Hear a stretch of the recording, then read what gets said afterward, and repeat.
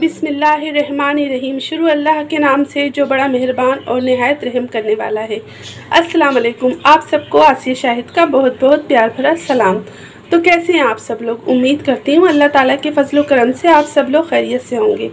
तो आज मैं क्या बनाने जा रही हूँ? चलें देखते हैं। ये मेरे पास एक किलो के करीब पालक है, चार अदद टमाटर हैं, एक अदद बैंगन है और एक पाव के करीब आलू है। आप बैंगन को स्किप भी कर सकते हैं। मैंने ऐसे ही मंगा लिया था। एक बैंगन, वरना तो मैं पालक आलू बनाने जा रही हूँ। और 10 से 12 हरी मिर्चें हैं 6 से 7 साबुत हरी मिर्चें हैं। एक खाने का चम्मच लेबल करके कुटी मिर्ची है और एक खाने का चम्मच लेबल करके नमक है। नमक और मिर्ची आप अपने टेस्ट के मुताबिक डाल सकते हैं।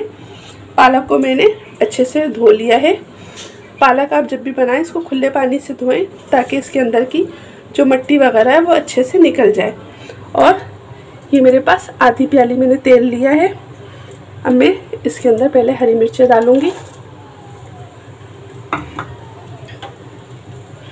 मिर्चें और नमक आप अपने टेस्ट के मुताबिक ले सकते हैं। ये देखें, हमारी हरी मिर्चें अच्छे से गोल्डन हो गई हैं। अब मैं इसके अंदर पालक डालूँगी। जब पालक का पानी सारा खुश्क हो जाएगा तो इसके अंदर मैं आलू और टमाटर वगैरह डालूँगी। ये देखिए। मैंने सारी पालक इसके अंदर डाल दी है। अब मैं इसके ऊपर ढक्कन रख दूँगी। और ये एक खाने का चम्मच लेबल करके कुटी मिर्ची और एक खाने का चम्मच लेबल करके नमक। नमक आप अपने टेस्ट के मुताबिक डाल सकते हैं। अब मैं इसको अच्छे से मिक्स कर लूँगी।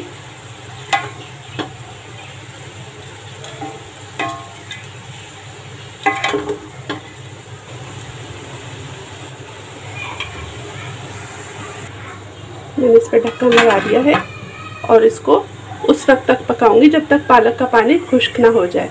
तो कहीं मत जाइए, देखते रहिए मसालेदार खाने आसिया शाहिद के साथ। चलें, देखते हैं हमारी सब्ज़ी में कितना पानी रह गया है।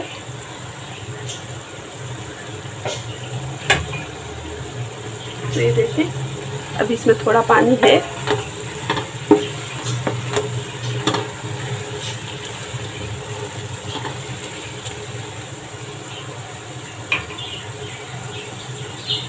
एक से दो मिनट में और पकाऊँगी, फिर इसके अंदर आलू डालूँगी। ये देखें, एक से दो मिनट हो गए। अब इसके अंदर तकरीबन पानी बस ज़रा सा ही रह गया है। ये भी खुश्क हो जाए। तो फिर मैं इसके अंदर आलू डालूँगी। ये देखिए, भून के बहुत थोड़ी सी हो जाती है। कोई भी हम मेथी पकाएँ या पालक वगैरह पकाएँ तो भून के थोड़ी सी हो जाती है। अब मैं आलू डालूँगी। आलू देखें मैंने इतने मोटे रखे हैं। ये बारीक नहीं है।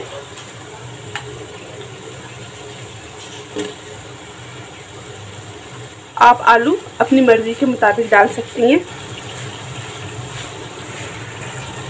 ये देखें बच्चे वैसे सब्ज़ी वगैरह के आलू शौक से खाते हैं। तो आप कम या ज़्यादा अपनी मर्ज़ी के मुताबिक कर सकते हैं। ये देखें अब मैं इसके अंदर टमाटर डालूँगी। ये छः से सात हरी मिर्चें। मिर्ची आप अपने टेस्ट के मुताबिक डालिए। और बैंगन में थोड़ा आलू पक जाए तो फिर डालूँगी क्योंकि बैंगन बहुत जल्दी कर जाते हैं। आप बैंगन को स्किप भी कर सकते हैं। मगर मैं एक अदद बैंगन डालूँगी, वरना तो ये आलू पालक बना रही हूँ, आप स्किप कर सकते हैं। अब मैं इसको ढाक दूँगी।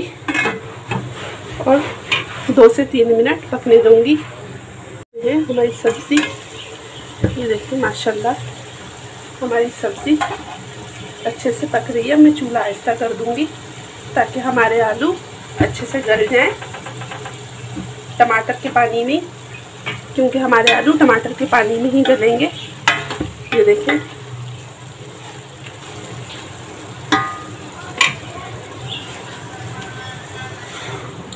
और बैंगन को देखें। मैंने एक बैंगन के छः छः स्लाइस कर लिए हैं।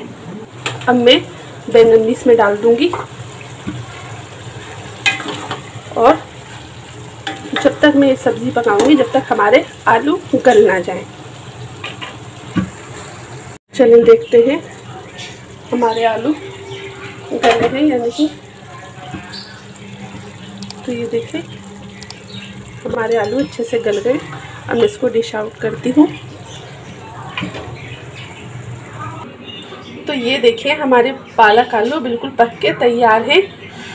अगर आप लोगों को मेरी रेसिपी अच्छी लगती है तो प्लीज़ मेरी वीडियो को लाइक करें, मेरे चैनल को सब्सक्राइब करें फैमिली एंड फ्रेंड में शेयर करें। मुझे आप सबके सपोर्ट की बहुत ज़रूरत है। अगर आप लोगों की सपोर्ट रही तो इन इनशाला हम हस्बैंड और वाइफ अब मिल के अपने बच्चों के लिए इनशाला कुछ ना कुछ करेंगे, क्योंकि मेरा घर रेंट का है। मैं रेंट के घर पे रहती हूँ और बीमार भी रहती हूँ। मेरा इलाज बहुत महँगा है। तो ज़ाहिर है पैसों की हर किसी को ज़रूरत है और मुझे भी है। तो प्लीज़ आप लोग सपोर्ट करें और अपना बहुत सारा ख्याल रखें और मुझे भी दुआओं में याद रखें। ओके, अल्लाह हाफिज़, अल्लाह निगेबान